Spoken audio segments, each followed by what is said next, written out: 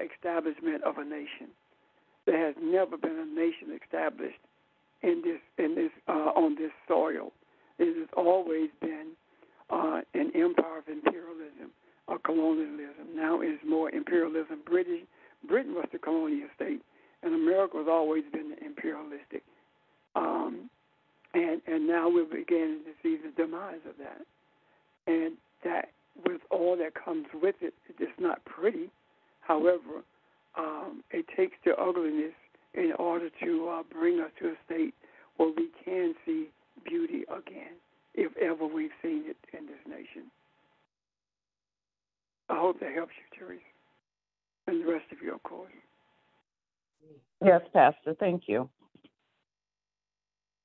Anyone else?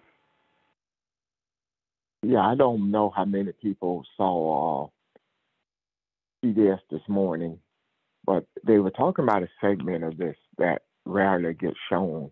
I did not know that the makers of the video game Call to Duty had actually uh, under got a, a contract with the, the makers of uh, uh, that, assault rifle, the AR-15, to use it for their video game. So that's the weapon that you know most of these kids are using, and they're just showing that there's a correlation to this video game.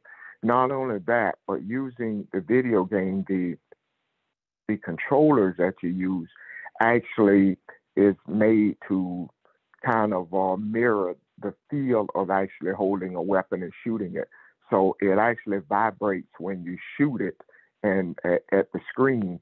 So you'll have the real effect of what it will feel like to shoot uh, when, when you actually shoot the weapon.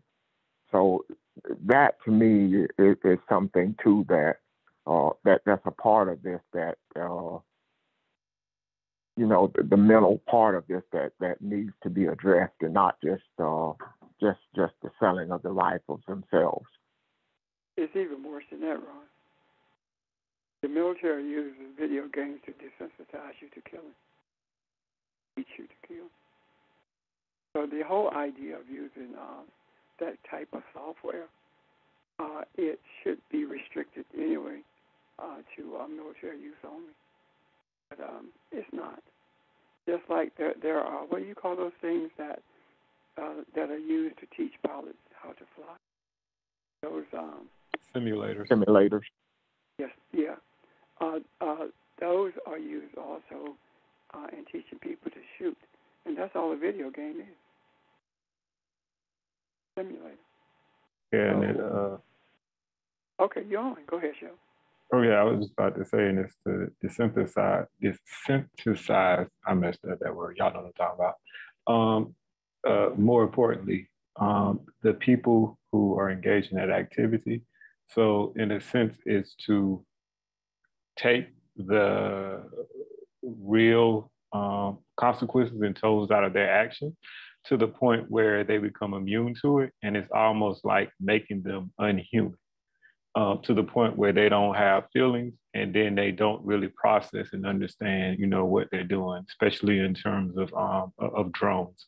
Um, the operators of drones who uh, is well, well known um, within the military forces who uh, deal with a lot of uh, trauma and essentially just giving orders to, you know, uh, basically take out certain uh, targets or whatever. But again, these are these are human uh, human beings.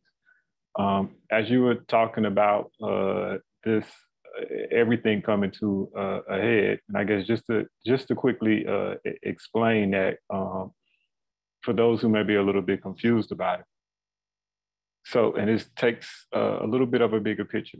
So, a state or a government is the entity that has successfully uh, been able to claim a monopoly on power, meaning that they control uh, power in the way that they choose and wish, and there's no one that can stop it. Now, it is two ways for a, when I say state, I'm talking about a government, there's two ways for a state to actually do that. They can do that by forcing the people to abiding, or they can coerce the people uh, to abiding. Um, in this uh, country, the government or the, state has been able to coerce, even if it was like extremely manipulative, but coerce uh, the people to uh, go along with literally everything, essentially the same as um, uh, this police state in the name of uh, protection.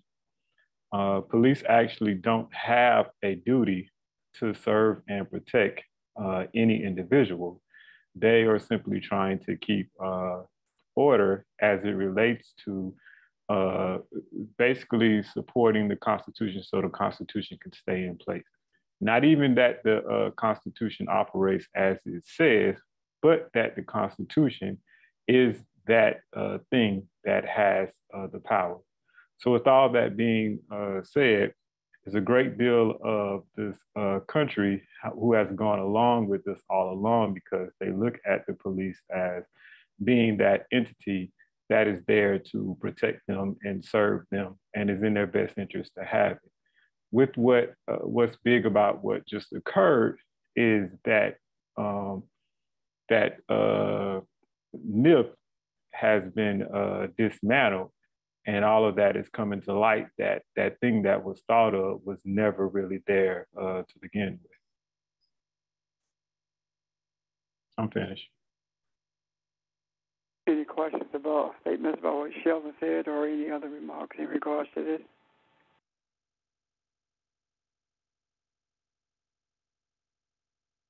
Let me reiterate something that we said before. There will there will uh, there will never be a nation established for the benefit of the people. excuse me, until uh, the uh, the southern uh, aristocracy has been dismantled. The uh, southern aristocracy has always been in charge of this government, and it still is. It is that racist southern mentality that controls this country. It did from the beginning, and it still does. And that is, a part of that is stockpiling weapons of, for the purpose of a race war, picking up where they left off uh, during the Civil War. That's the objective. The other part of that is um, when you take that and couple it with what's happening with the um, Christian Church, the Southern Baptist Evangelical Church, however you want to call it, when you look at that, when you couple those two things, what you see is a white nationalist Christian party that's exists in this country under the guise of a Republican Party. That's what's happening in this nation. Even this weekend, um, the um, this Memorial Day celebration day, this did not come into effect because of World War II or World War One. It came into effect in 1867 it was called uh, the uh, Decoration Day, when uh, the um, Confederate wives uh, direct, uh, decorated the graves of the Confederate soldiers uh, during the month of May. And they chose May because in the spring, that's when the flowers were blooming, especially in the southeast. And it grew into um, a day of decoration, uh, and it was moved to um, on a national level think it, in 1982, I believe it was, is when it became known as Memorial Day.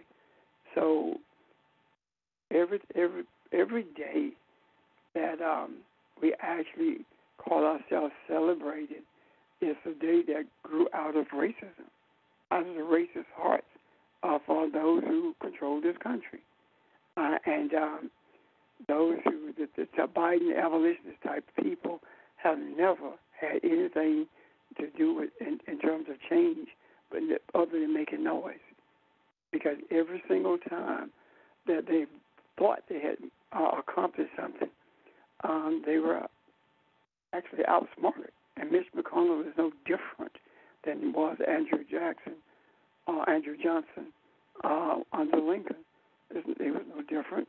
And so, what I'm saying in essence is this: it, you can go through all the days you want a, holiday. They're going to come from erroneous Christian, Christian statements in regards to the scriptures, or you're going to find that they have their origin deep seated uh, in in um, Southern politics, uh, more more directly the Confederacy of the South. So, so when we talk about the weaponry, the first time that there was ever a uh, idea of controlling weapons, it was to keep weapons out of the hands of um, the uh, people who were uh, enslaved. And during the um, uh, the reason the National Rifle Association gained so much traction was after uh, Huey Newton and the Panthers showed up at the state capitol with weapons. Um, you could carry a shotgun. That's what they had, shotguns as opposed to um, rifles. And after that, the, the uh, National Rifle Association began to recruit very strongly, especially in the South. So this whole thing, you can take Nixon's Southern strategy, um, the uh, evangelical church, uh, slavery, and the mentality of racism, all of those things are intertwined together. And when you look at them together or individually, the results that you get is a sick nation who's hell bent on creating chaos. Now, answer this question Why is it that you would support someone who walks into a classroom and kills kids? You say, well, nobody's supporting him. Yes, they are. If you support the weapon that, of his choice, knowing that those are the weapons that are used, you are supporting him as well. And all, and then Greg Abbott says that um, there he has no history of mental illness, and about three minutes later, he was saying that only a, a mentally ill person would do this. You then you say that mental illness should be addressed, but you take four hundred and eleven million dollars in April out of um, mental health in your state. So all of these contradictory statements are being made, all these contradictory actions are being seen, yet no one seems to pick up on them and, and draw a common thread through them. And the reason being, in my opinion anyway, is because the attitude of Caucasian males in this country is the same as the attitude of all the rest of them. That one does it quietly and the other one does it overtly. The only reason that that, that uh, the people like Mitch and and uh, and and I'll say Biden as well are upset with Donald Trump is because Donald Trump did everything publicly that they've been doing privately. That's it. And any questions or comments about that? And I and I, I know that this was not supposed to be the direction we take, but this is the direction we needed to take because this is something that is very pertinent uh, to our lives in this nation. And I do not, for, I do not want any of you uh, to feel threatened by what's going on in this society. I don't. And the reason I say that is because uh, even though there are dangers all around us, there are those who are of the um, Harriet Tubman type energy. Regardless of what happens, is always protected. And the reason being is because it's for the benefit of humanity.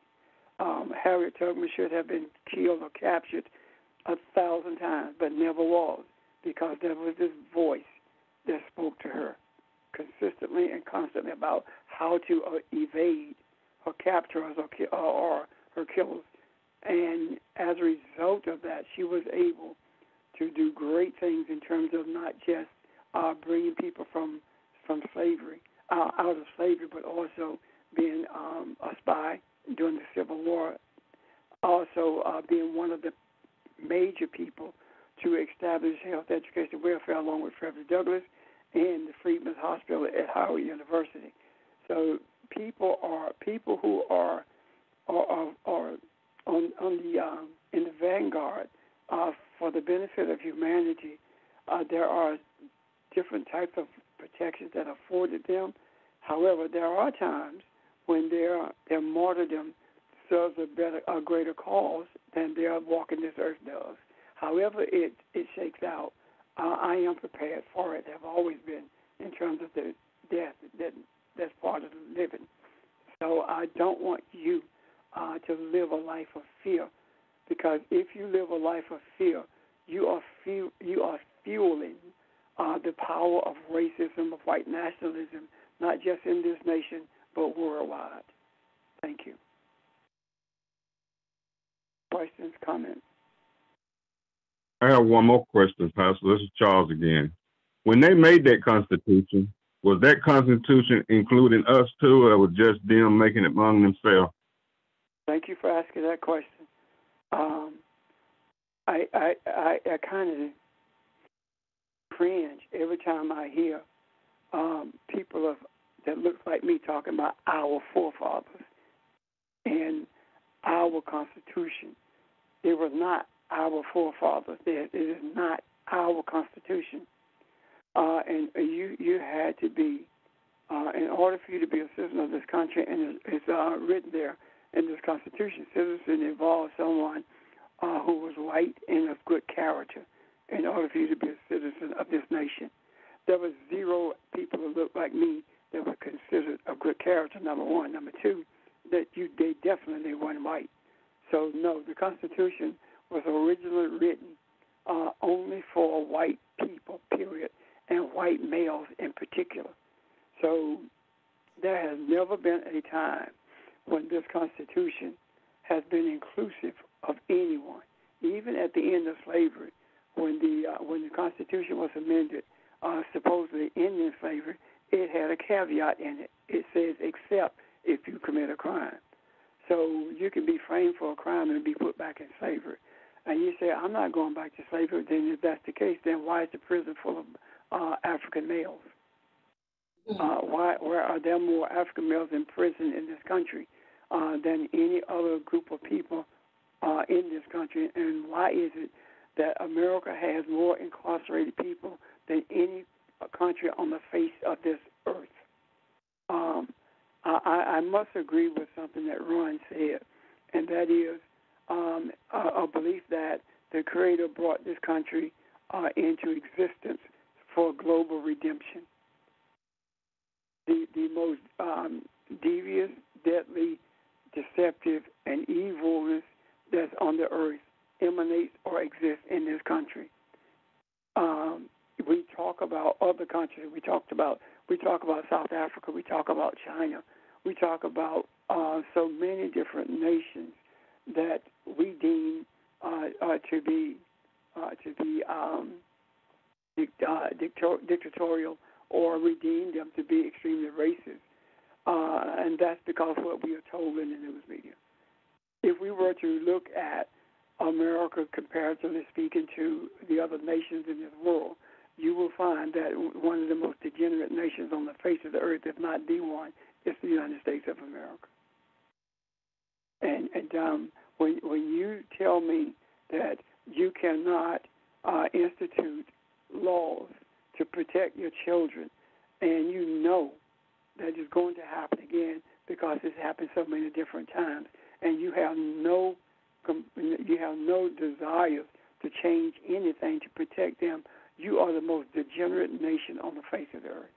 There is nowhere on earth where, where um, there are massacres as there are in this nation. And when they did exist, the laws were changed and everything else ended. I watched the the um, the soccer game yesterday, and, and um, uh, what happened is there was a ruckus because someone had sold uh, bogus tickets, and I saw the policemen rushing in to pull to uh, bring people out of the stadium and move them back from the um, entranceways. The policemen had no guns and there was no ruckus other than the people obeying what they said. They moved them away. Why is it in this country, uh, had that taken place? Look at what happened on the on the plane. If you could break somebody's jaw, or, stu- or, or on the flight attendant's jaw on the plane, because they ask you to put on a mask and fasten your seatbelt, what do you think will happen with some drunks at a sports event trying to force their way in, and the policemen tell them they can't come in, and they have bogus tickets. This America is violence, and I do believe that this country, as Ron has said, uh, is in, in uh, was created in order to bring global redemption, and the uh, the the ones who are traveling this journey for global redemption uh, are pretty much on this phone. I don't know anyone else who do what we're doing, and uh, until I meet some other people who do what we're doing, I would just, I would, I'm fully ready and willing to embrace the reality that no one else does it. It's okay with me. It doesn't matter one way or the other. Because? I think about during the period when Jesus and um, those uh, who he taught uh, walked with him. There were no there were no others on the earth who were doing what he was doing, and as a result of that, we see what changed. The other week we were talking about um, the the um, uh, the, the um, pillars falling from under this thing called Christianity, the church uh, in a free fall to death, and then here we are uh, that comes out in this report uh, the the sexual antics that have been taking place for years in the Southern Baptist Church, and all of it being hidden, even to the extent that they kept a list of who were engaged in these activities, the, the pastors and leaders who were engaged in these activities. Not only did they keep a list, but they kept also the acts that they were that they were engaged in. Um, I, I, I when I heard that, and then I saw on TV where this lady stood up in church and, and um, approached uh, the pastor uh, and accused him of having taken her virginity on the floor of his office when she was a teenager, and there, and all he said was, uh, "All I can ask you to do to the congregation is forgive me," and I'm and I'm thinking, this is it. This this is the free fall of this thing called Christianity.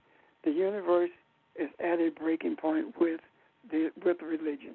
The universe is at a breaking point with racism. The universe is at a breaking point with all of these male, uh, this male-dominated uh, society.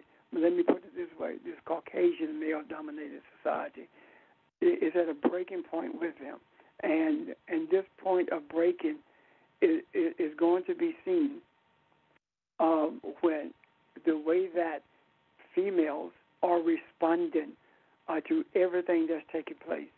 That not just the children who were killed, there are who were murdered. They are in Texas, but also uh, the ones who were taken advantage of uh, in these different uh, church settings, uh, and a host of other things that have taken place in the society. And I say freely, without reservation whatsoever, that until until we mobilize that Caucasian female to the point where she sees herself as being invincible and unstoppable, things will not change. White males is in their best interest to keep things as they are, and they will do everything they can to make that happen. um, so, the the objective um, that that um, that we have is to bring peace and love and kindness to everyone on this earth, and that has to be birthed from the womb of the female, and the uh, the womb that birthed it all is that African womb. But that womb of that Caucasian female uh, also has um, uh, uh, um, can no longer be allowed to be barren. Um, that womb um, must be activated in order to bring uh, into uh, existence um, the, uh, the the loving kindness that's necessary uh, to resolve for the result um, to result rather in peace and harmony. Questions or comments?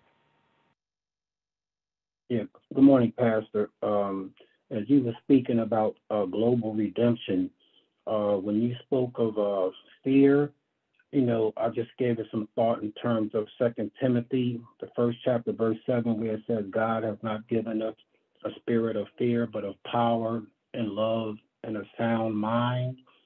Um, you made some comments, you know, reference to Harriet Tubman, but in your view, um, can you maybe expound on that just in your own way in terms of that scripture?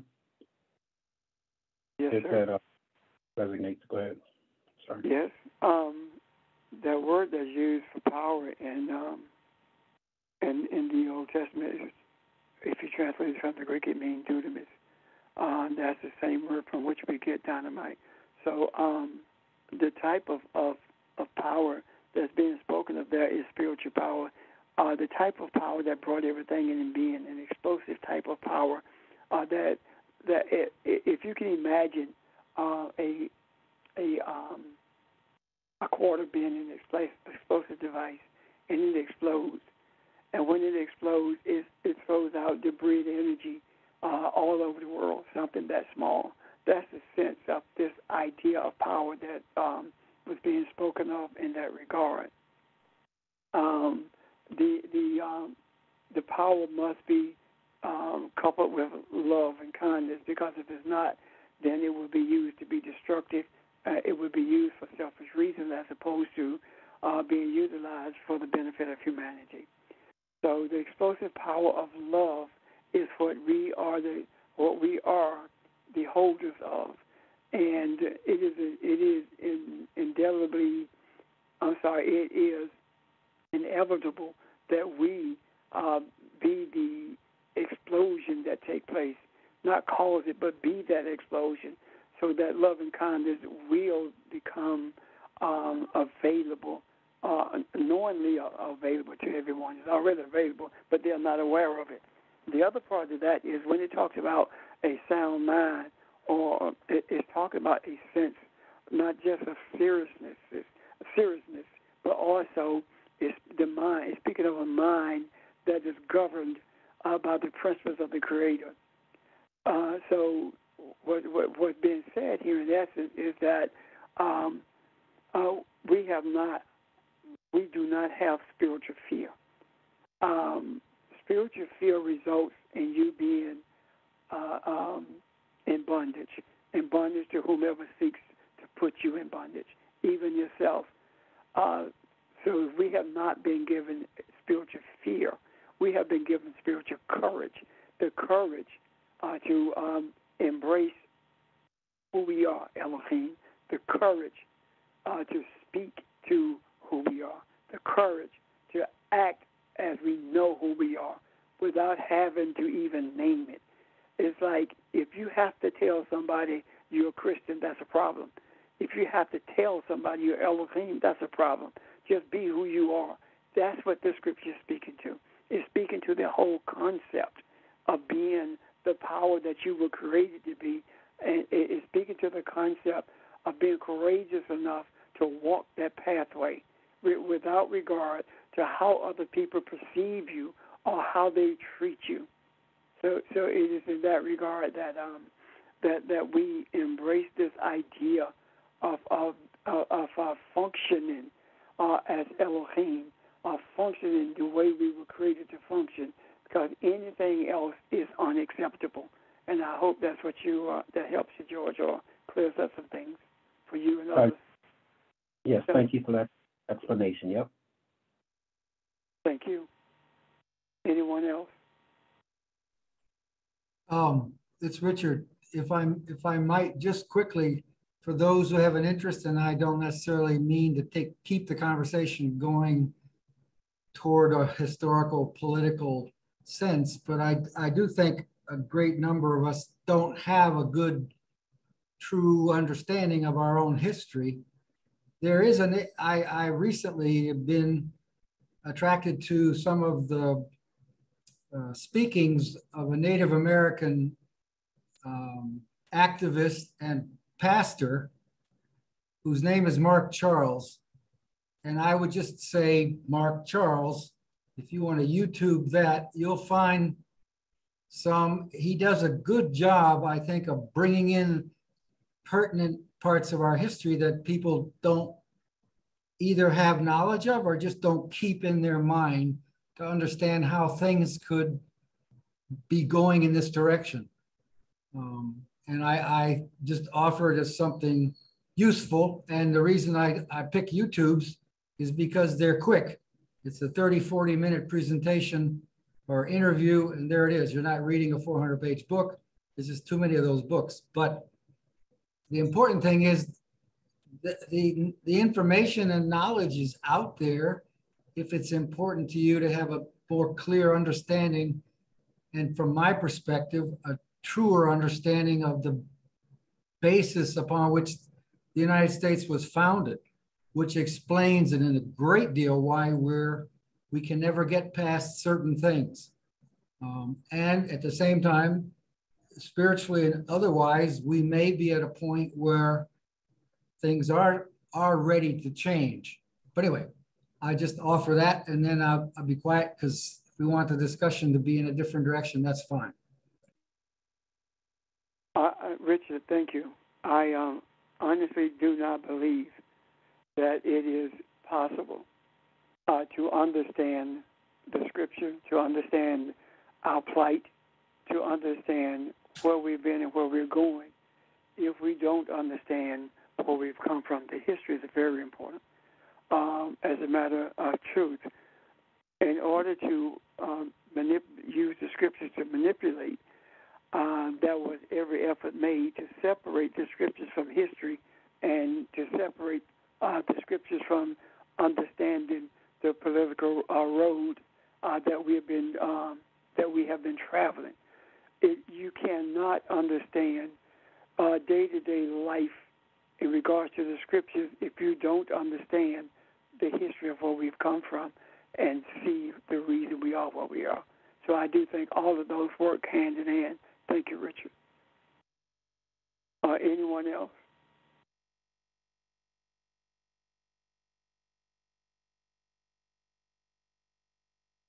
Okay, Sheldon, I don't know how far we are from what you were going to talk about today.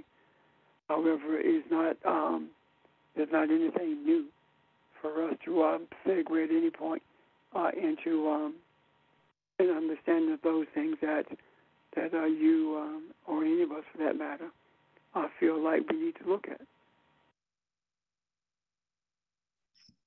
All right. Well, um, hello everyone. Uh, a, a, little while ago, someone uh, asked, "Is there anything uh, else?" And we touched on this before that uh, can be done instead of having. Uh, I mean, but excuse me, not instead. To besides having love and compassion, and that's something that we've uh, kind of discussed over the past uh, two weeks, um, what the past week or so.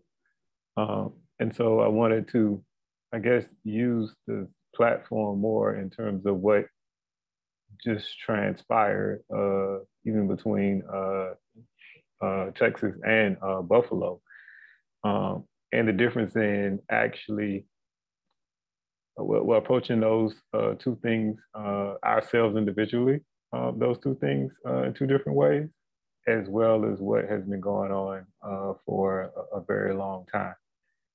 Um, I guess okay, uh, before I do that, I am going to actually uh, explain a little bit, and I did a little bit before, in terms of the people or the Southern uh, uh, uh person or racist person that Pastor Rudy was uh, talking about a few moments ago. but I want to talk about them in terms of their self, not how they interact with the world, not the things that they do outwardly, but more so how they view themselves and then go from uh, there and explain our, our connection, and our reaction as a connection.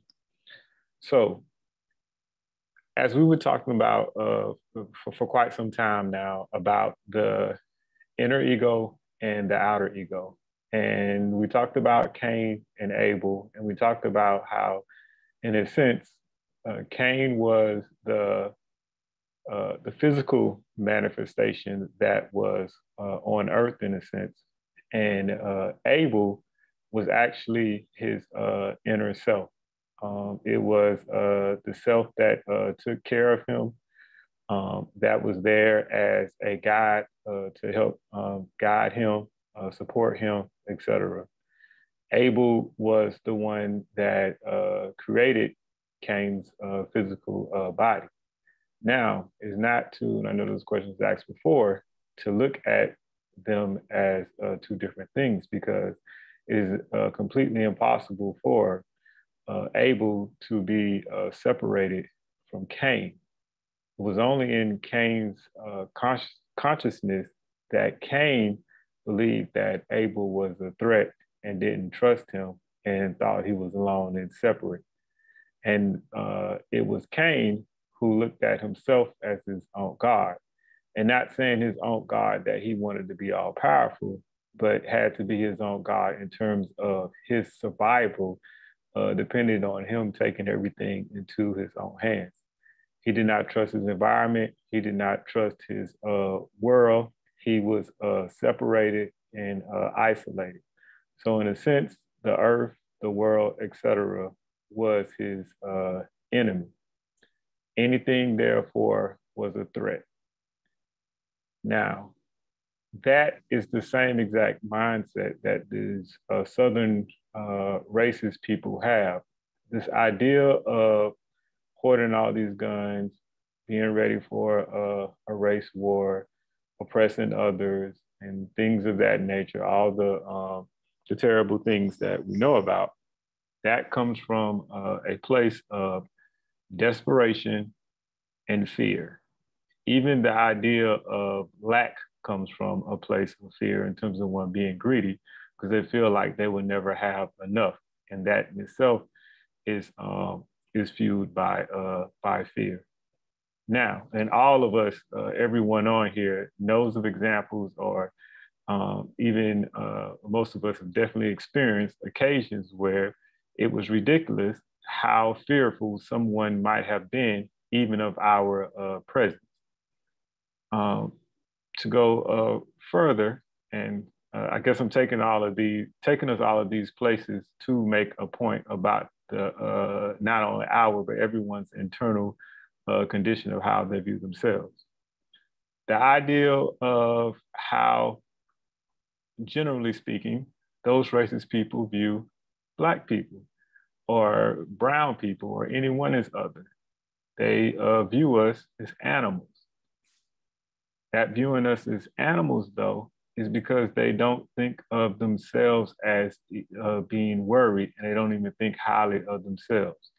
How we, every last one of us, interact with the world is based upon how we view ourselves, our thoughts, and our beliefs. It's no uh, different for anyone. Now, in terms of, uh, so I, I basically discussed why is this need to have so much power? Why there's need to have so much uh, um, wealth? Why there's need to have so much um, gun power, uh, etc., for protection? While uh, there's a need uh, from uh, their um, their uh, from from their point of view to have so much law and legislation, legislative uh, power at their hand. It is for those reasons. Now, we also talked about forming our reality. Reality is formed by anyone based upon, again, our thoughts and beliefs. And our emotions connected to those thoughts and beliefs are what power uh, our thoughts and beliefs in terms of creating creation, creating this physical uh, reality. It is our emotions that we feel uh, the most powerful, no matter what that emotion is or how we may judge that emotion, uh, looking at that emotion as being something that is negative or positive. That is our uh, energy. That is when we are uh, energized. That's when we are energizing our thoughts with those very strong emotions and feelings that is us uh, creating. So, with that being said, if we approach, and oh, so my uh, comment was that you cannot fight a war or try, well, you can't even fight a war uh, because you uh, hate war or you hate violence. That is putting out the same exact energy, uh, energized with our emotions because of our hatreds for war that does nothing uh, but perpetuate the situation because those already afraid and frightened individuals do nothing become more afraid and justifiably so. Uh, I'm not saying I agree with it, but in terms of a natural standpoint, justifiably uh, so, because they feel a resistance and they feel more fear of the hatred uh, for what it is that they are creating um, and uh, doing. So the only uh, way to, I guess, address, I should say, a war is to actually do the opposite and focus on that which is uh, desired. And what is desired is love, peace, and, and balance. And that has to be cultivated from within and believed within and felt strongly within in order to create that in uh, in a physical uh, reality way in our existence. Everything that occurs in our life individually as well as a collective is what we ourselves have made, uh, created up until this point, both individually and as um, a collective uh, collective society. So uh, if we don't like what it is that we're currently dealing with, then we have to examine our thoughts and beliefs and actually uh, uh, change them. Uh, that's how reality uh, reality works. Um, I mentioned. Uh, does anyone have any thoughts or questions at this particular moment before I go further? Yeah, I, am listening to what you're saying. So I'm using your same example of Cain and Abel. So the reconnection then, or the, the, the, the transitioning then is the, the self, the, uh, Eve says, I, he has re- replaced my son. I have, you know, so what you're saying that is that the reconnection you as as the Cain, as the person living in fear, uh, that is the turnaround. That is the the part of you that reconnects to what created you or, or seeing who you really are and moving back to that place, right? Is that is that what what is that another way of saying what you're saying? Just using that your your your, your original example. Okay, I see. So the thing with Cain was is Cain only saw himself as being a human being, and if it, as him only seeing himself as a human being, he saw himself as a limited for example, earthly uh, existence, and that's all that it was. He was not uh, connected or allowed himself to be uh, aware of his everlasting life, in a sense, and therefore, the only thing he did was fought for uh, survival. So even coming from a standpoint of how uh, indigenous uh, um, uh, societies were, uh, and even Western thought around the world versus uh, Western thought. I mean, I meant to say indigenous and Eastern versus Western is having that ability of understanding of not looking at one's uh, existence as only being here limited to uh, this particular physical reality. And so it became a difference as well as a different relationship with the world and the earth the world and the earth was not here as uh, something to uh, destroy you that you had to fight, but the earth and the world was here for something that was here to sustain you, and you were to more so live in harmony. Uh, there was a respect and a regard um, for the uh, for the earth. Um, uh, it, it was a totally different approach in how the how they saw themselves. But all of these things start from uh, you know, internally, uh, like I like I said. Now, as we talk about uh, uh, Cain and Abel, Abel is the one that was enabling Cain to exist.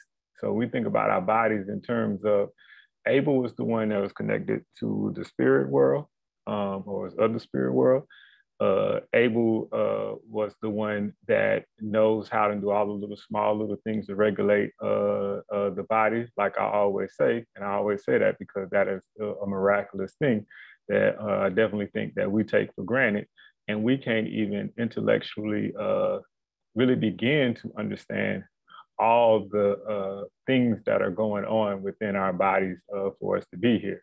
We're just more so no different from being in a robot machine that we know how to uh, operate a little bit, but we don't know how any of the parts whatsoever, the mechanics, the engineering that actually is going into it. We're not controlling any of that. We're just pressing a few buttons, uh, so to speak.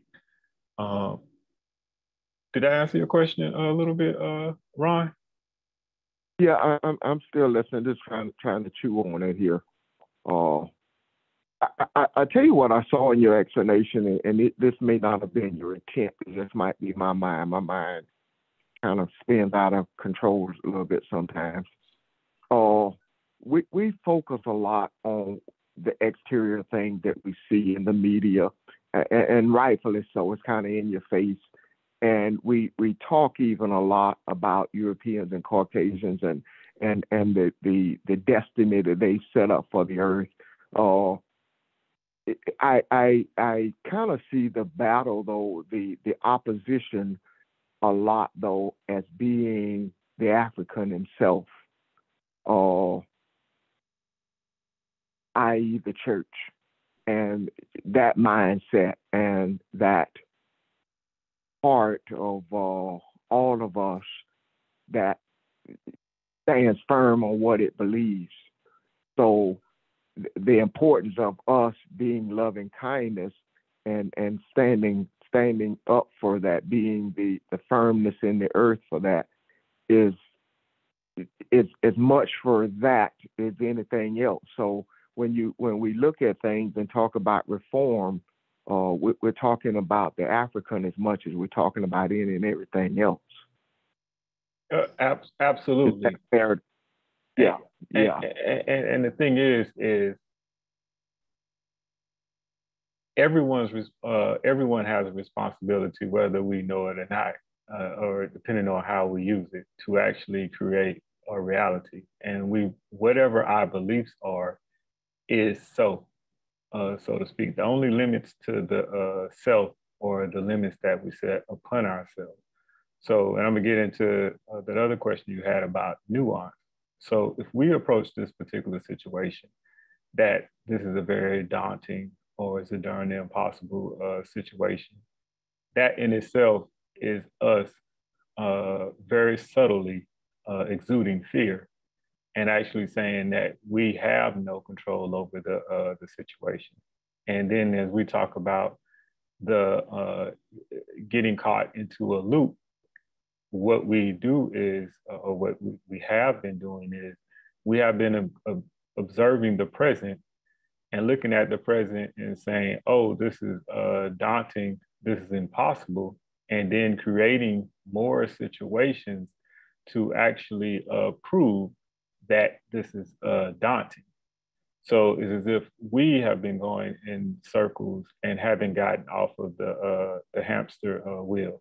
Uh, it is important for us as we um, as we talk about um, showing love and compassion, there are several things that are going on, uh, even from an internal uh, standpoint.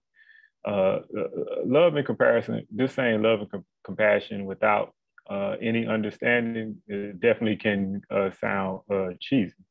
But what is going on below the surface is that you, you're opening yourselves up to those inner senses and more so to the spiritual aspects of yourself as you become more aware, more conscious of those uh, those things.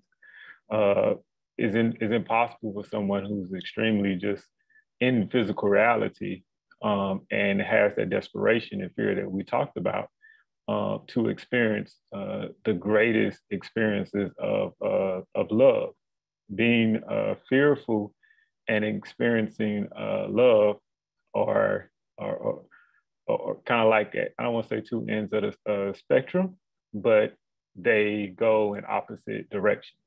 In order to experience um, love, it requires one be open and uh, vulnerable. And I don't mean vulnerable in terms that you are weak. It means vulnerable in terms of you open up uh, your heart uh, to, to feel. Um, also, with uh, love and uh, compassion, uh, it was another part that I was going to say about love and compassion. I forget. Uh, I forget at the moment. But also, what it uh, does is it puts that energy uh, out, and then people then begin to interact with that versus interacting, uh, you know, with fear or a wall it, all of us uh, understand situations that we've dealt with uh, people in certain environments and we get certain kind of energy and we may uh, as a result uh, react to that energy in a certain type of way. We can tell when someone's uh, being open. We can tell when someone's being loving and uh, genuine.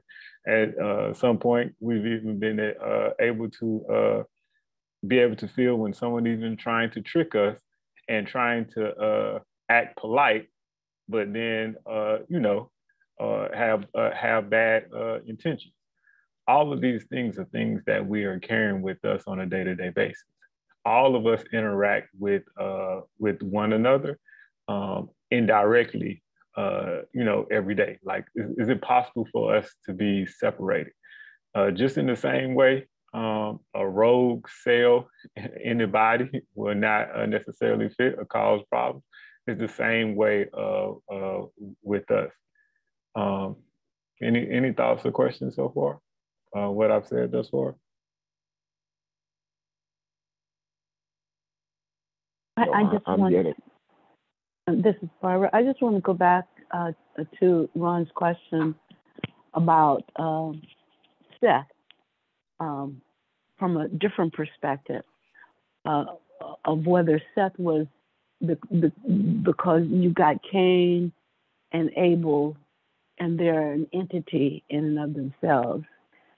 Their attitudes, are they are egos and and and and, and uh, the alternate uh, for the ego.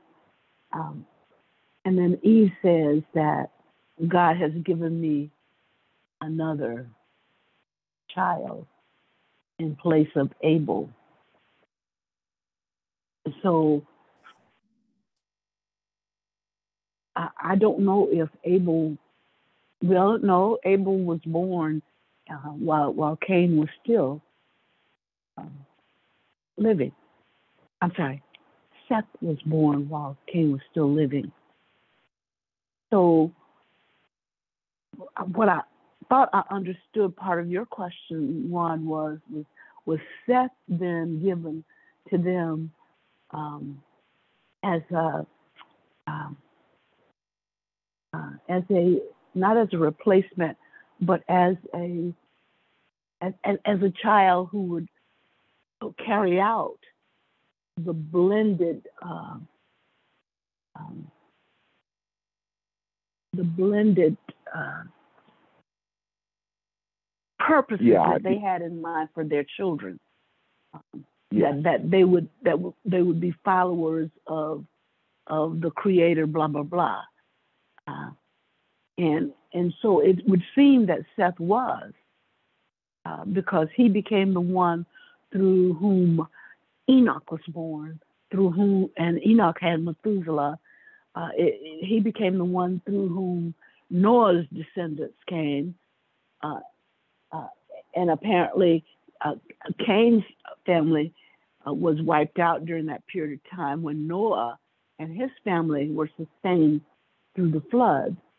So it it uh, it, it, it implies that Seth became um, uh, that that one through whom the um, the line of, of I guess Elohim, if, if, if you will, continues. Well, Barbara, the, uh, we mentioned before that uh, even though Cain thought that he had um, uh, in a, in a sense, uh, annihilated or killed Abel, that never uh, took, took place. In the same uh, sense, uh, all of the people that we look at today um, that do uh, things uh, that will be viewed as evil, they too, in a sense, have an Abel. Abel is not destroyed. And those individuals won't be destroyed in, in, a sense either because they, though they do um, cease to exist in this physical uh, reality, they don't actually cease to exist. And so that Seth that uh, you were talking about, uh, in a sense, could be the, uh, the redemption.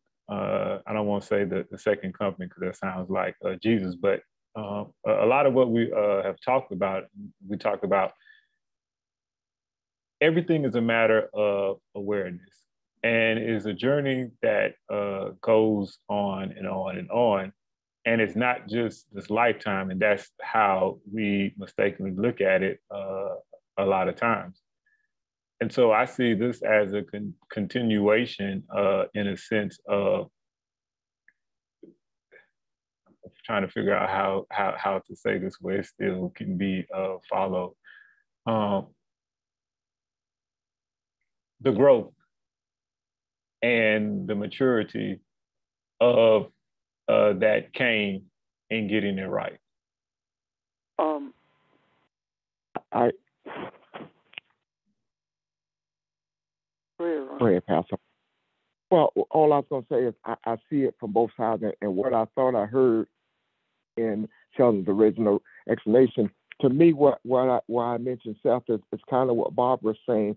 I see Seth as a, a, a different place of awareness. I see him as a more of an eye opener and as a compassion kind of thing. Whereas it's like, okay, you see this thing and this is direction you take, but hold up, wait a minute. You got to be inclusive. You got to show compassion here. You're not seeing the, the bigger picture. So here it is. That's why I, I mentioned uh, uh, other black people, you know, other other Africans, uh, as we unravel this thing.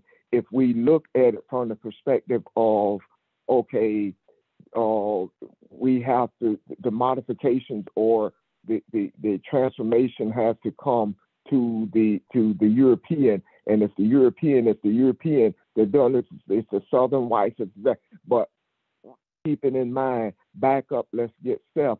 Seth represents those that are also tied to that.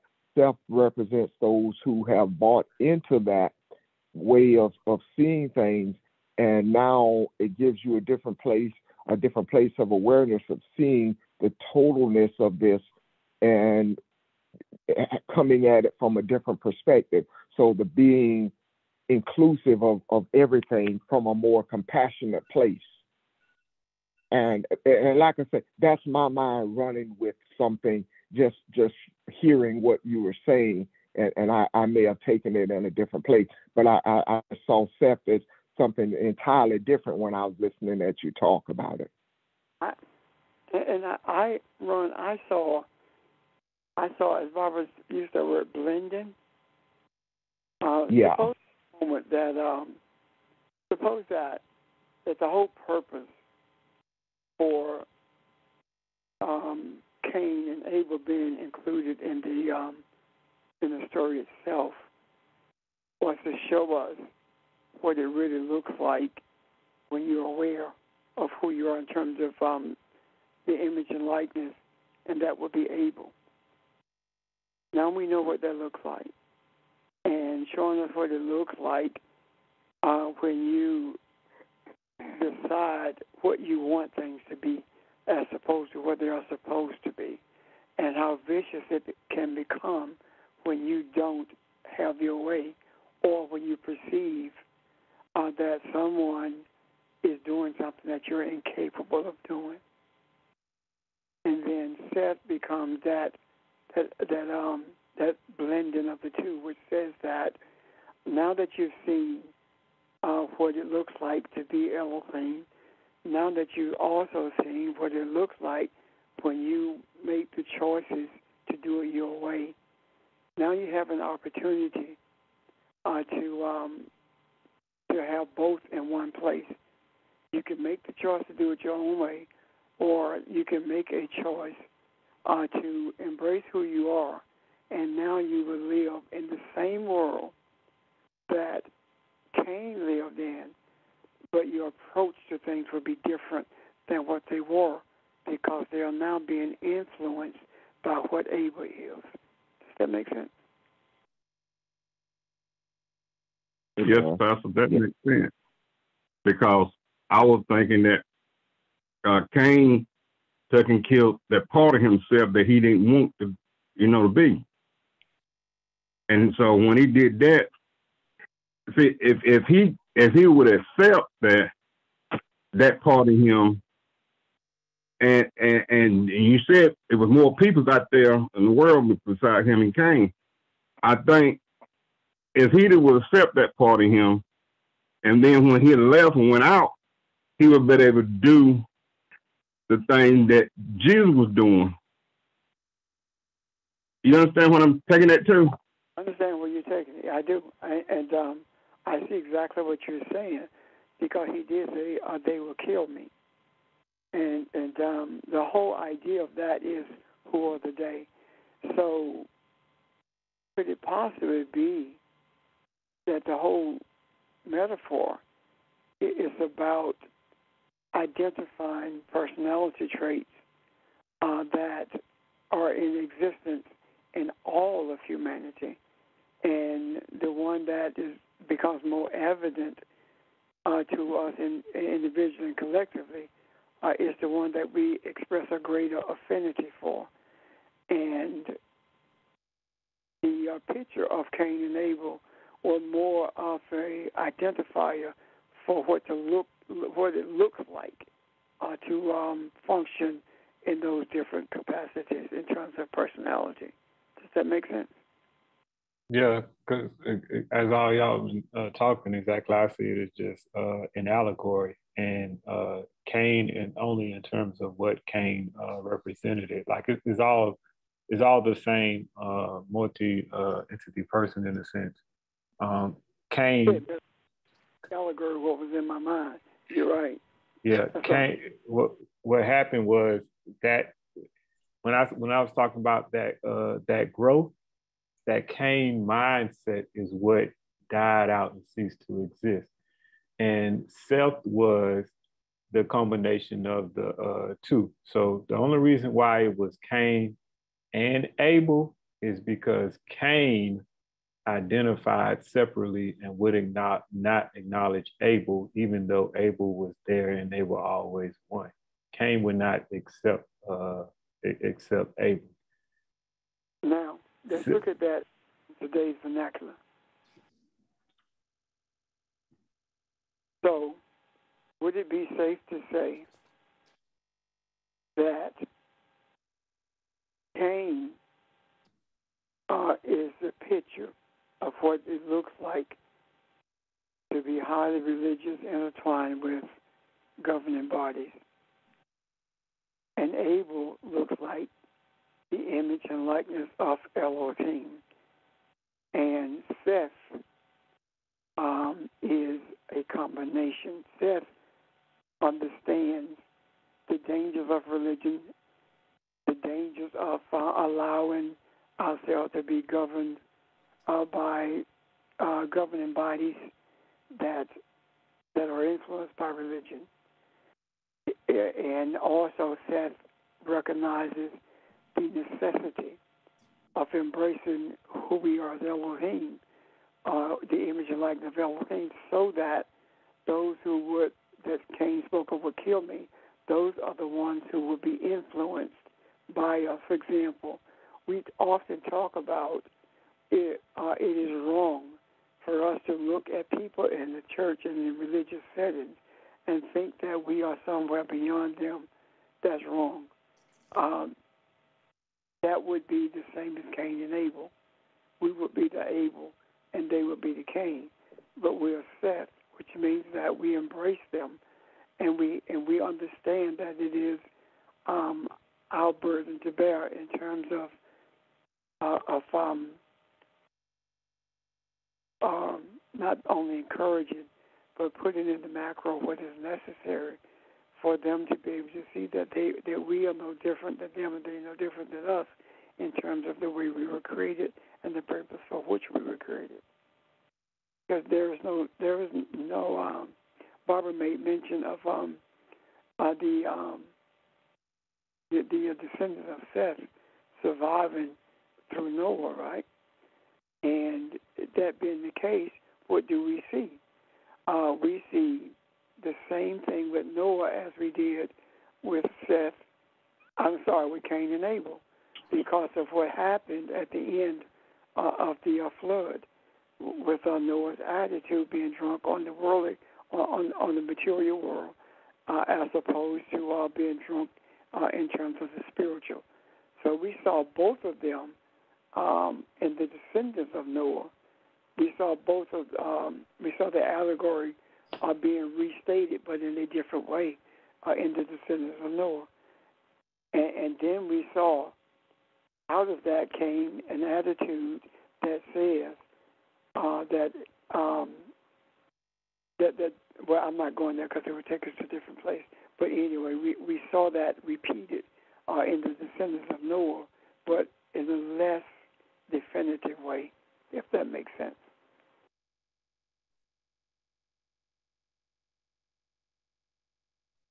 I guess th- th- th- what what you're all saying is is is is simply what I had in mind when I talked about the blending, meaning the balancing, uh, balancing of those two thoughts.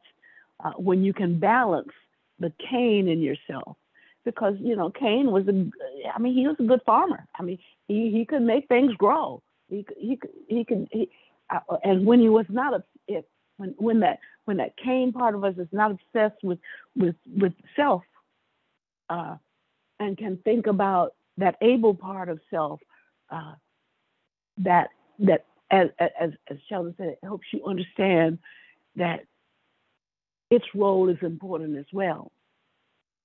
Then the self part of it is that seed, if you will, um, because in Genesis 5 3, it talks about Adam lived 130 years when he fathered a son in his own life, fathered Seth in his own likeness.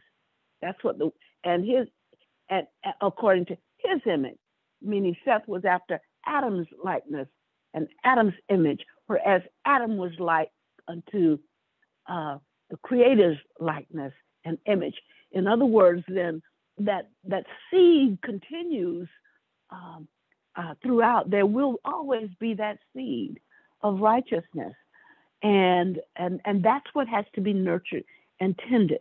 And so when that's part of the the harmony. That's part of the balancing. That's part of the the the uh, connectedness with with the spiritual uh, part of who we are. The balancing of the Cains and the Abels in ourselves, so that we are not selfish uh, totally, uh, but we are not also um, so giving that we are that that we're good for nothing in that arena as well. So it has to be a, a healthy balance. And to me, um, in a sense, Seth represented uh, that balance that was brought to bear. Thanks. So, Barbara, listening to your, your explanation and, and what Pastor and Sheldon have said, the they then, what the they be the the Seth and and the the the uh, Abel? What what it, what it, and what I mean, and I and I don't want to confuse this at all. Uh, uh, could that be saying is we will no longer let you take over and and create an imbalance. We will no longer allow you to to dominate uh, the, the the way that this man supposed to to to operate. So the the burst that you mentioned is uh, indication that balance had been achieved. There there is no uh, any more uh, you're you're dominating or taking over uh, the, the attributes of Cain. And if if that is the truth, then if what we're looking at, if putting looking at it today, uh, what we are, are seeing then is the destruction or the the the Cain, uh, which has dominated the earth, is seeking without, in in a spiritual sense, seeking his balance again, and and that is the involvement of the the self and the the the being loving kindness and and being uh, the awareness of who you truly are versus who you have programmed yourself to be. And and I I'm, I, I don't want that to sound confusing. Does that make sense at all? it, it, it does. I, I'm sorry. Go ahead, Bob. I, was simply going to respond that in a sense it does make sense to me because when you see white supremacists that have that have uh, um, gone to one extreme, when I when I see Cain and Abel, I see extremes instead of a blending and a learning to uh, the importance of, of of what each can contribute to the wholeness of of the entity. But right now, when when when Sheldon talks about white white uh, supremacists, et cetera, et cetera, I see the Cain part of of us thinking about only my survival. I have no thoughts. Don't even care. Don't even think I care. about the survival of mankind. It is only me and mine. And so, yeah, I, I, I do, I do see uh, uh, what we see today is is just an explosion in in in in, in living color, in in in in in, in bigness of what Cain um, showed us uh, that we were, that we could be, uh, very mm-hmm. selfish, very evil oriented, et cetera, et cetera. Uh, suppose for a moment that um, we could we look at this uh, a different way. Suppose that what's being sacrificed, sacrifice is done in order to do what? To remove an obstacle that impedes you uh, from receiving from the Creator that which the Creator has for you or created you to be, something like that. On that, on, on that, based on that premise, um, the thing sacrificed by Abel was his animalistic attitude because he sacrificed the animal, right? The blood of an animal, the life of an animalistic attitude. And and Cain um, held on to his animalistic attitude and um, was only willing to give up what he chose to give up, and that was part of his uh, material possessions, as opposed to his attitude. That makes sense? Yes. If that's the case, then then the reason that Cain's blood is crying out is because the animalistic attitude was given up. It's of um, this earth consciousness. We still hear the cry to give up, to sacrifice the animalistic attitude so you can be who you were created to be. And what is that cry about? The cry could the cry possibly be about redemption? Redeem, being redeemed from from the dominance of materialism, and that redemption of that um, deliverance can be seen in Seth. And um, from Seth, we began to see how we are supposed to bring about harmony in the earth. And that harmony comes through balance, being balanced between the material world and the spiritual world, meaning that the recognition of the material world is for the subsistence uh, of this body as opposed to uh, dominance over other people. Is that confusing? Or is it? Not to me. That that that makes that makes sense. One is based in materialism. The other one is based in in the thing that would hold it to the earth and materialism, which is animalistic kinds of things. And if I am willing to to sacrifice uh, my animalistic uh, tendencies, attitudes, interests, uh, then then I, that that that opens me uh, to so much more that's available to me spiritually in terms of knowing, well, where do I fit? What am I supposed to do? What's my purpose? It's not it's not to hold on to materialism and it's not to come from the perspective of, of animalism. It, it's to come from a much broader uh, perspective uh, that covers uh, more than just myself. I, I, my coverage is is humanity. So Seth becomes the human.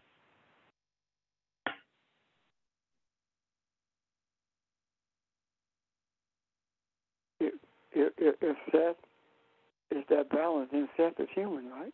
Or the personification of of what a human is. In that allegory, yes. Yeah, that, that's what I'm talking about. In that allegory, yeah, the personification of that. But it then also speaks that even though Seth is the personification of that, if it's not guarded zealously, that you can always revert to that animalistic attitude or vacillate between the two. Uh, I'm sorry, or ebb. There's an ebb and flow between the two.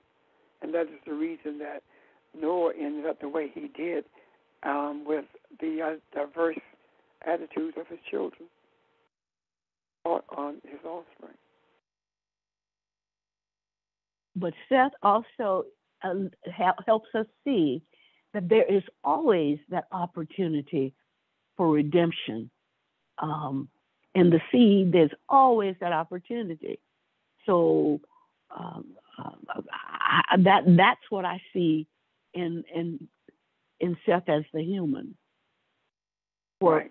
not not only not only in that allegory, but in the future generations, there's always that opportunity um, to do what we're doing right now, which is which is the redemption of humanity through loving kindness, through balance, uh, through understanding who we are, through knowing who we are, and through functioning uh, uh, in the knowledge of who we are.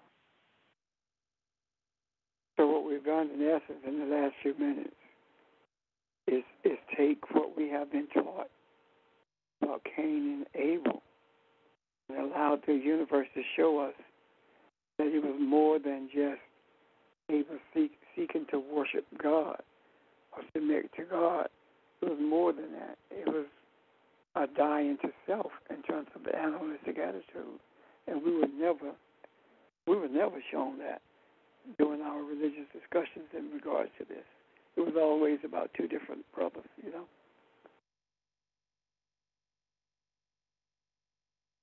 And then, and then taking that part out of it, the two, the, the, the two different brothers, uh, and looking at where we are today, it shows us uh, a much different perspective.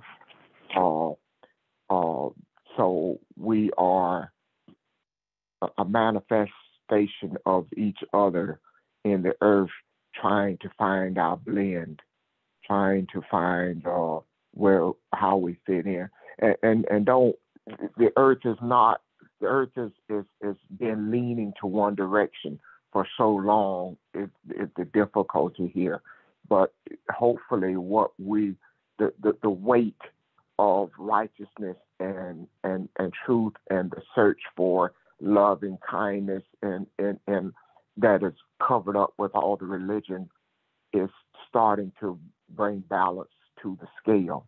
And, and it has nothing to do with the number of people, it's the, the desire of the heart. So it helps to put things in perspective and not see the two brothers. Uh, because when you see two, you, you see a difference. You see the, the opposing view. But what we're attempting to do is make those two one. And the going back to what Sheldon originally said about not concentrating on the war, but seeing the results of peace and the love uh, that that brings that vision uh, closer into view when you do it that way. So the the battle it it, it, kind of takes the, the the sting out of the battle, I guess. Uh, and you know, and, and I'm I'm kind of rambling here, but but I hope you see what I'm saying. You know, you are whatever come after I am, right?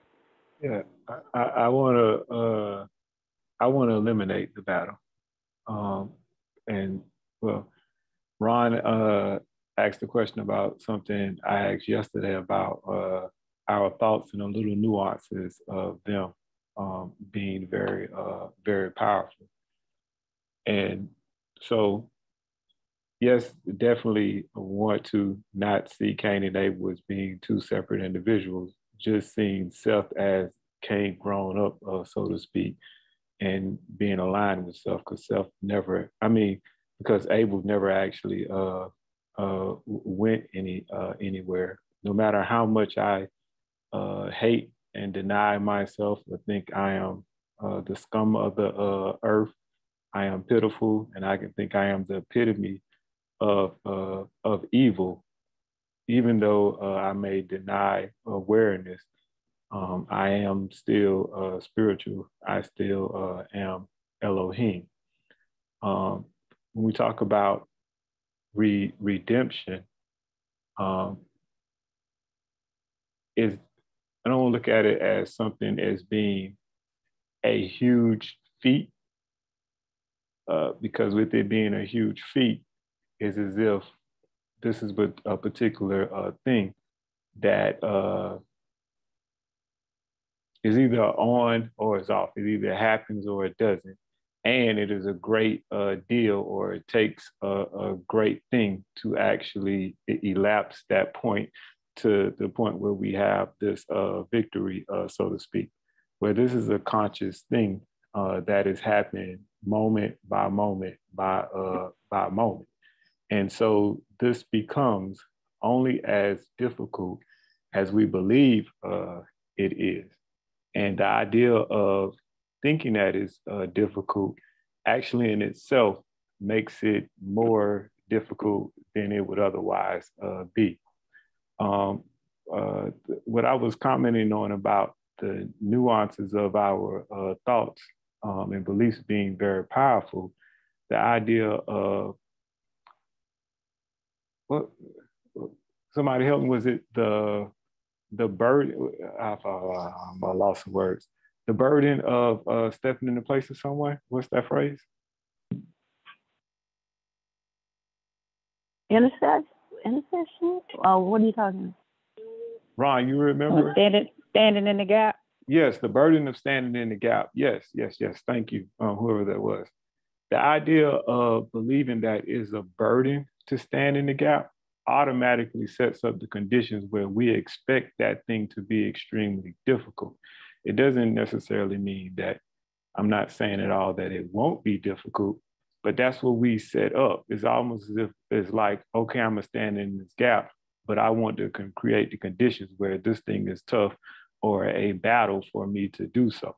I want uh, this to be a strain uh, on me.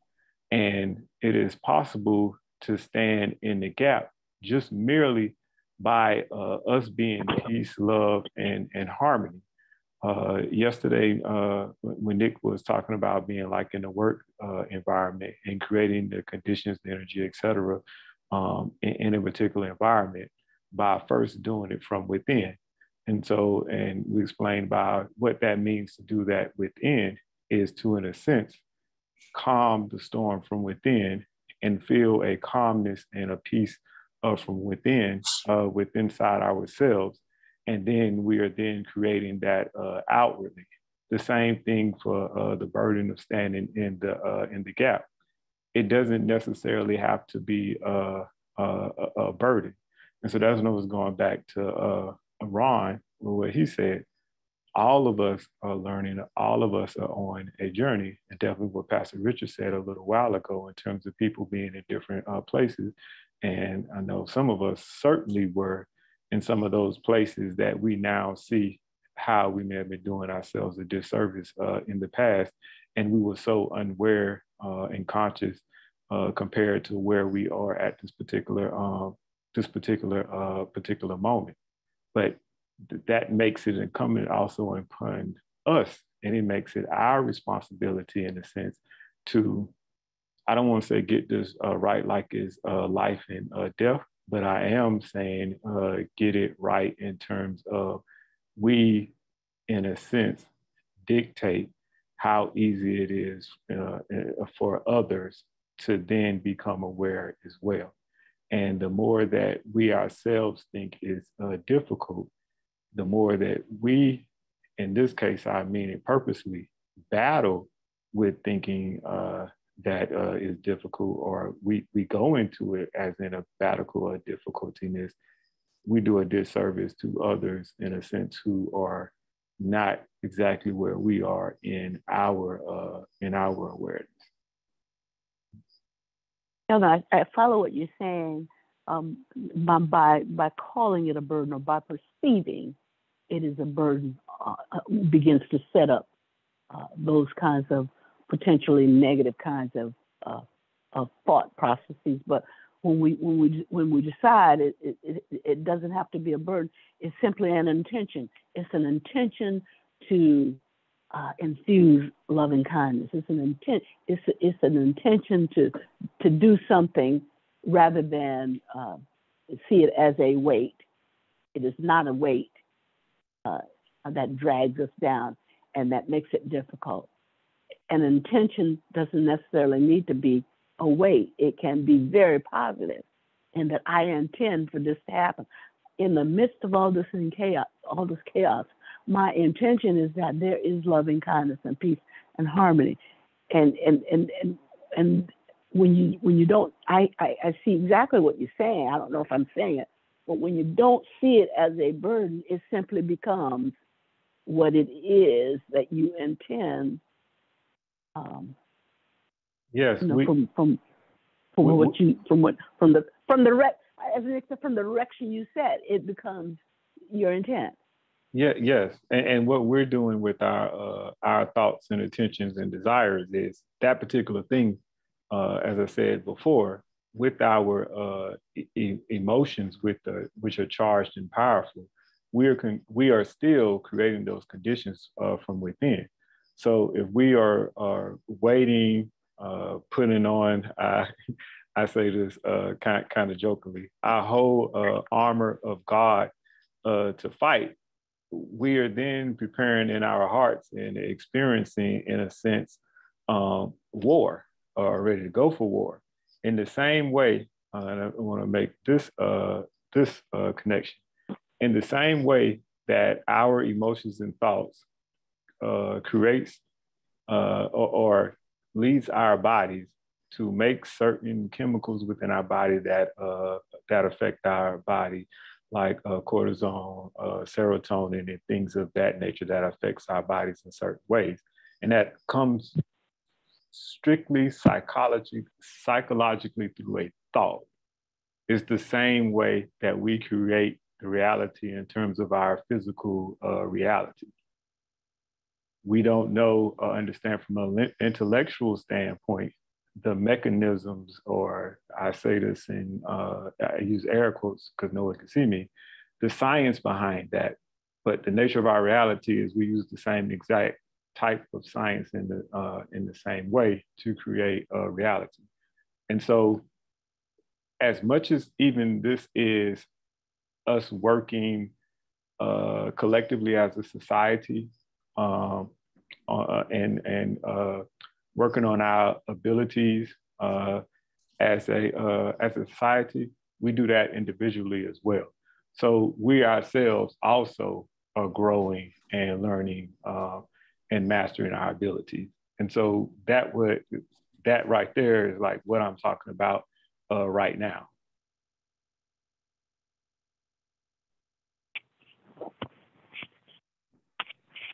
and and see I, I I see what you're, you're saying and I, I I love this this this understanding uh I, it, here's I I guess and and this is where the eighth sense kick, uh, kicks in my my my mind is taking me somewhere with this what it's taking me to the place where I need to see this and plug in and, and what I see is uh when when I talk about things on that I see. When I see a, a face, a Donald Trump or Mitch McConnell, or I hear about laws passed or this, I see the European, I see white people, and that automatically separates them from me.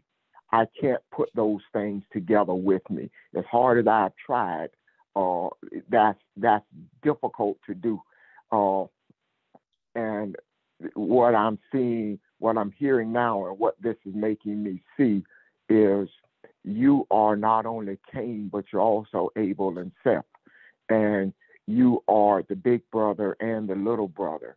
And you have to grow the little brother up to, in, in, in, in order to bring balance. So when I when I put that pull that together, I see that I am all those things. I am one, and the the principalities are not the people uh, the, the, people may be a manifestation of, of things, but that is not who they are. Uh, so you operate as I pull this together and operate from that perspective, and and look at this. all I, am it, it kind of softens the blow. It kind of helps me see the blend, and uh, and and it's just another way of looking at it because we we've talked about this from every angle. I don't know how many times, but for some reason, this is this is catching root in, in a different place in me right now. So I I, I embrace it and, and, and appreciate it. Yeah, and I, uh, and I want to add one thing to the the Cain and uh, Abel uh, thing uh, that is um, related here. So even what I'm talking about in terms of all of us uh, growing in a sense, it wasn't the case that Cain just just all of a sudden one day he was he was dead and it was just victory. It was more so an attitude and that mindset that was slowly dying out.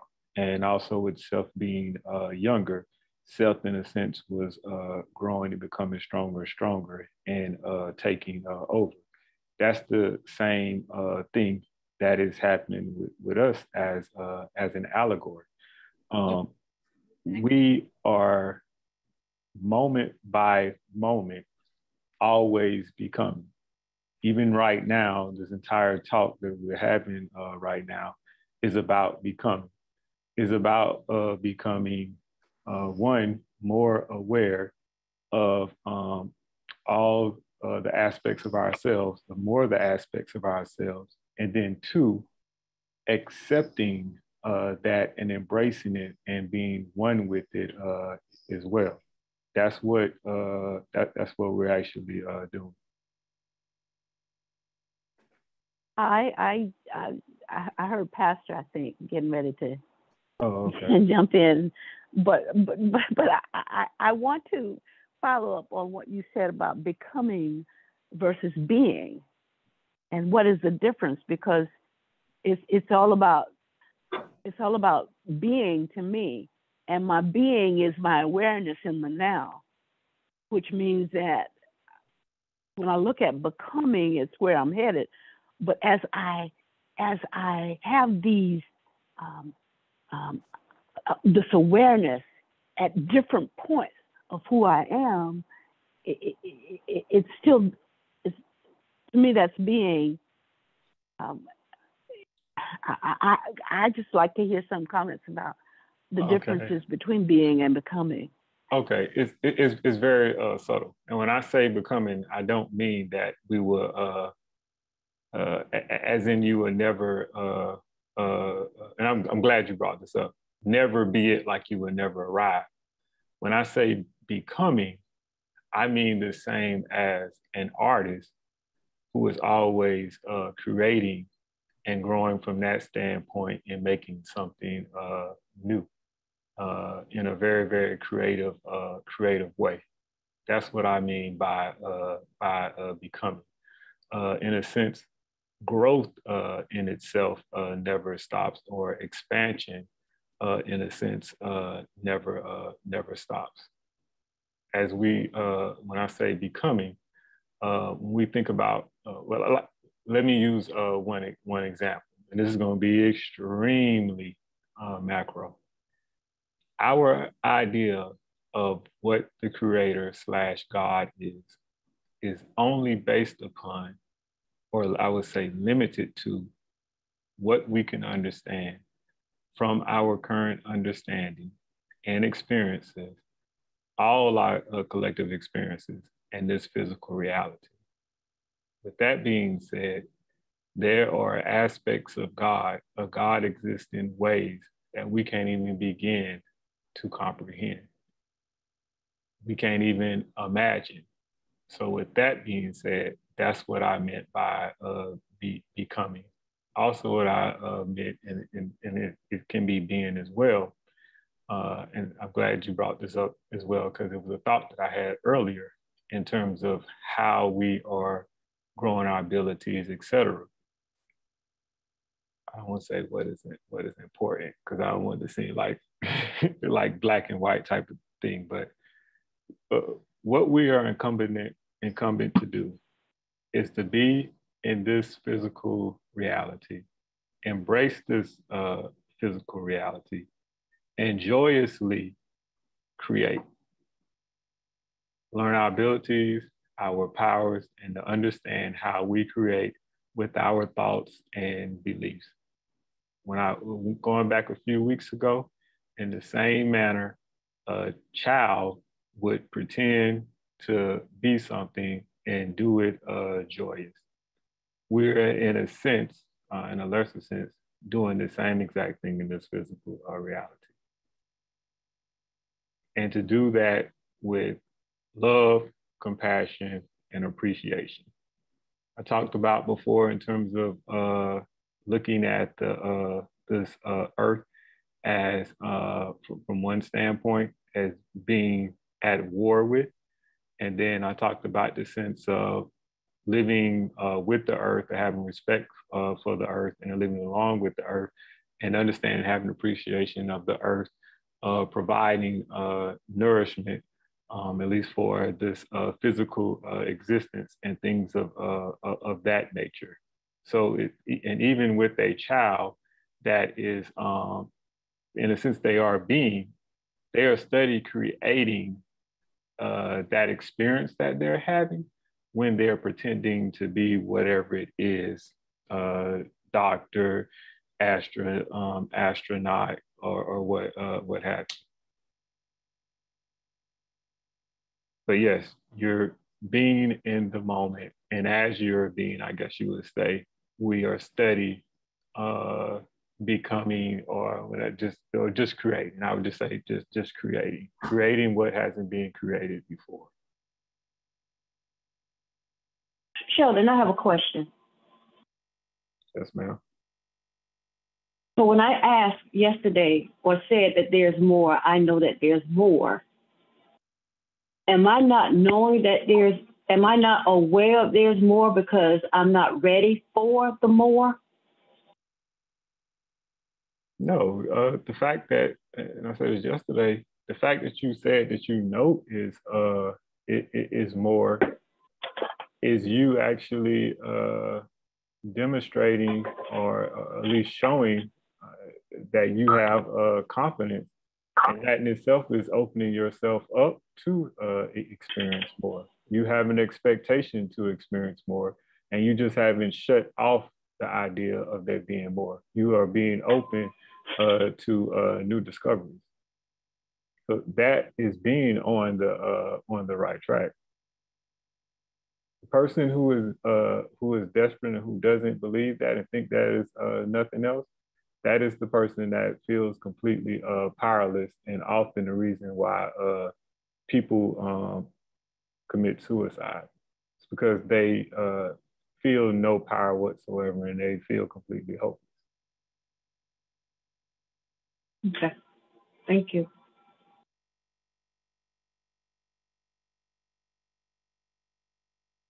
Yeah, I, I like the question about the, the, the, the being and, and the becoming. I mean, that's that it describes humanity, the, the, the real essence of humanity. You we recognize that the here and now is what's important. We recognize that we are the human and what that entails and, and how that melts away the time factor as to what is past, what is what is future. It, it is about the now. Uh, but at the same time, you are steady becoming, you are evolving, you are becoming aware of the, the, the essence and the power of who you are. And, uh, you know, and, and, that is even evident in, in our discussion today. The, you know, as Pastor has, said a number of times, we open up scripture uh, time after time and take another layoff of it and just what we're doing is further bringing enlightenment and awareness of who we are to ourselves uh, as we operate in the now. So those two things go hand in hand, and there, there's, uh, and as you say, just just just the power and the energy in being that and, and understanding that, and and and uh, kind of kind of reveling in that. Just just yeah, I, I, I like that. I like the question. yeah, is is I don't want to say is is important. I said we'll be doing ourselves a great uh, favor, like both individually uh, and collectively as a society, and our individually having an effect on society, if we uh, approach um, uh, life in that manner. And like I said, that that appreciation for uh, for a physical uh, physical life. Now, there's also a difference um, uh, between how should how should I say this? It's not necessarily a fine line, but some people are obsessed with physical life and they uh, live life as all that uh, is as well. And going back to Cain and Abel, we can possibly say uh, Cain, uh, many people are um, consumed and only uh, interested in the, in the, uh, the physical. What I am saying uh, to do is, I am saying along with your inner senses, with the understanding uh, and experience of more so who and what we are, um, I am saying creating and enjoying life from that standpoint. Now, also that automatically involves uh, love and compassion and a connection and a respect and regard uh, as well in terms of in a sense being as we've been talking about animal and humanistic being a more uh, in a sense uh, healthy and when i say uh, healthy the only thing that i mean is that which is operating uh, in balance and operating to its fullest We become more of a healthy uh, human being. And, and when I say that, I am talking about from like a spiritual and physical, uh, physical standpoint. And there's one last thing, but any thoughts or questions?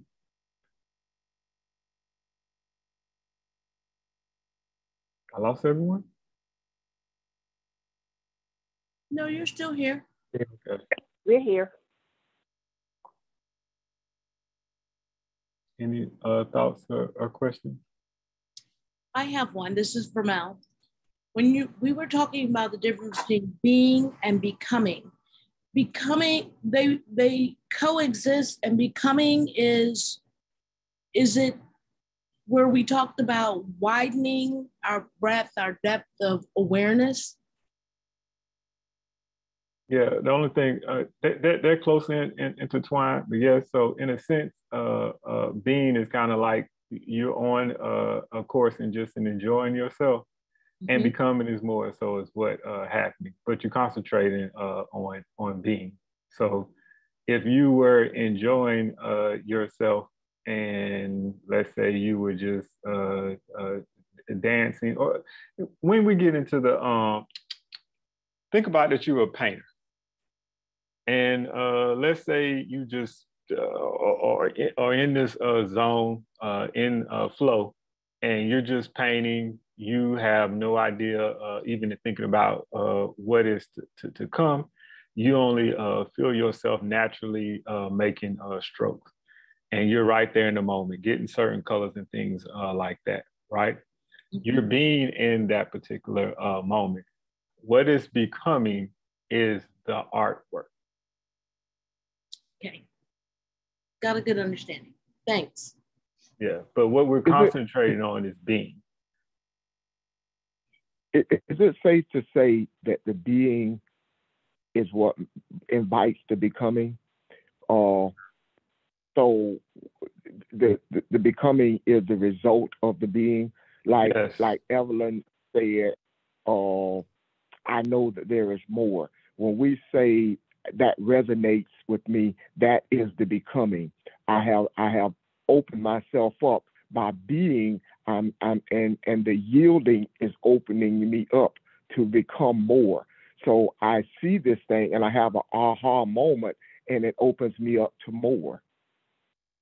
So we it, it, it's it's the two things go together and, and and they feed each other as we as we become the more more aware and as we yield to that, uh, more comes to us. Yeah. So it, it, it's it's a it's a constant thing. Yeah, and, and Ron, as you as you speak about that, you know, energy moves matter, you know, through the process of becoming. And what we're saying is that, again, as energy flows as our attention goes, it's the matter of the substance of who we are you know what I mean, before the beginning began. And because of this energy, it's now moving us through the process of becoming. So as we continue to, um, you know, elevate or as we continue to manifest through this energy, you know what I mean, is that process of now coming, which is um, what they refer to in the Kepara Septepi, which is the coming into beginning for the first time. So this energy again moves this matter, which is part of that Pangea, that that that substance that was already there from the beginning, but we're now connecting in that way where the energy is now moving through this process of becoming. I don't know if that resonates, but I just wanted to respond to what you're saying, the process of becoming as far as energy moves. I'm done. Um, Oh, it- may I interject something? The, Absolutely. when I think about the idea of being and becoming, I see them as um, inextricably tied together.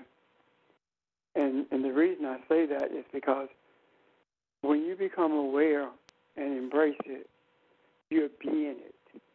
And I use that term "it" very loosely, but for the sake of uh, clarity, when you embrace it, you're being it. But the thing that you have not seen or become aware of is the is the is the becoming. You're becoming something that you don't see yet. Even though you are what you have seen and you are what you have not seen until you become aware of it, you are becoming. Does that make sense? For example, we've always been Elohim. But we, we have through a stage of becoming what they are. Pastor Richard. Uh. Pastor Richard, can you hear me? Yes, sir. Uh, you were uh, low um, uh, all of a sudden. Okay. There, we, we like, when we unaware. Can you hear me now? Uh, Hold on, hold on one second. Can you mute your phone?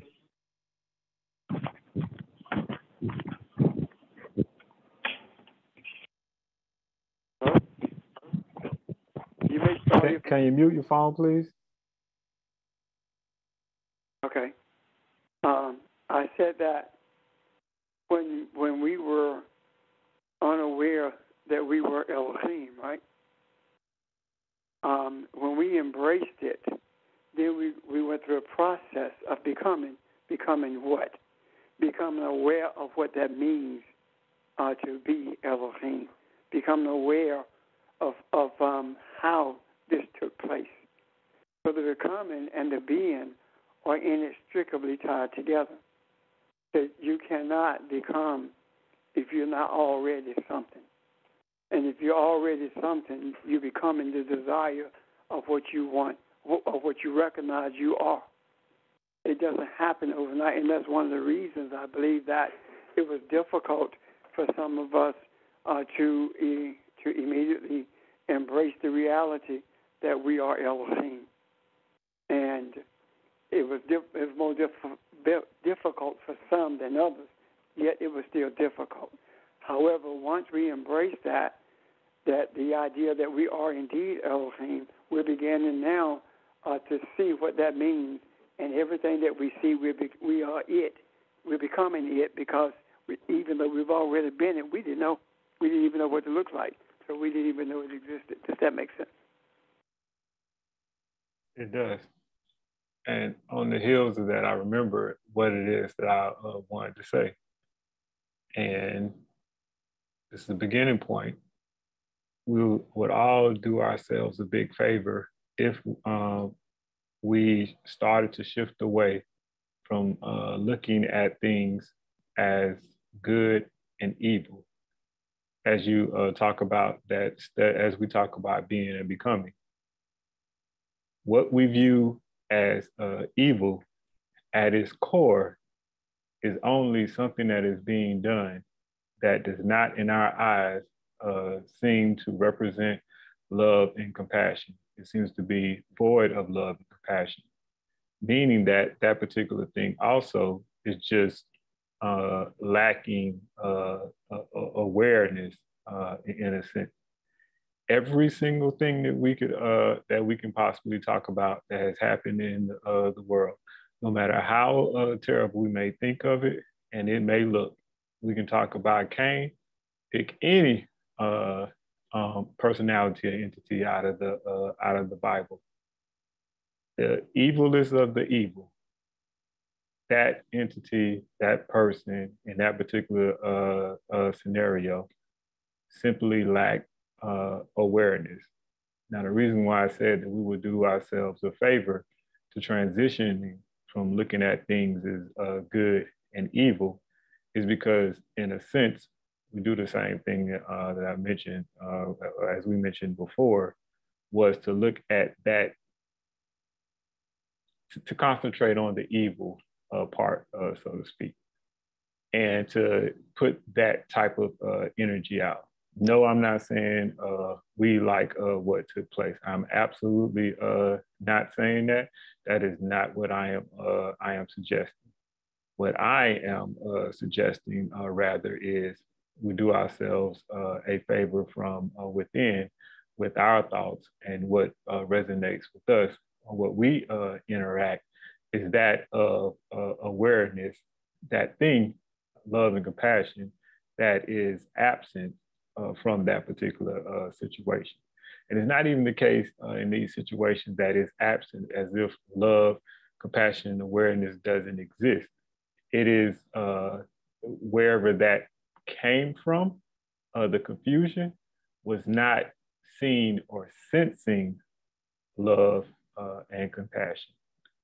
That uh, entity or the group of people that I mentioned that were uh, uh, uh, approached the world of the earth as I have to survive. When you feel like you have to survive, it is because of a, a lack of love and, and, and compassion. Any uh, thoughts or uh, questions, comments, anything uh, on that?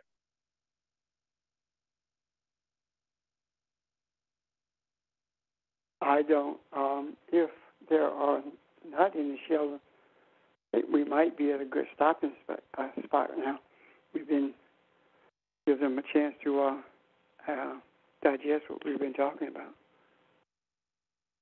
That that works for me. I'm uh, even happy that at least that can be, uh, you know, just thought about it, even uh, considered. Yes. Sir. Now, again, we won't be there tomorrow. I uh, know that people will be doing other things tomorrow, probably, and um, I didn't think of but getting ready for work. However, we have some uh, engagement with doctors tomorrow, and um, I would not be able to be there, and I don't want to um, um, impinge, infringe on someone else's plans for tomorrow by asking them to uh, do what I would be doing tomorrow on a holiday. Thank you.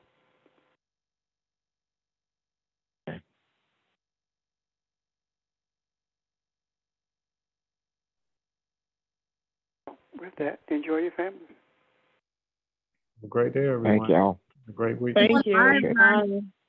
Thank Thank you. you. Thank you. Bye, everybody. Everybody enjoy your holiday. Be safe.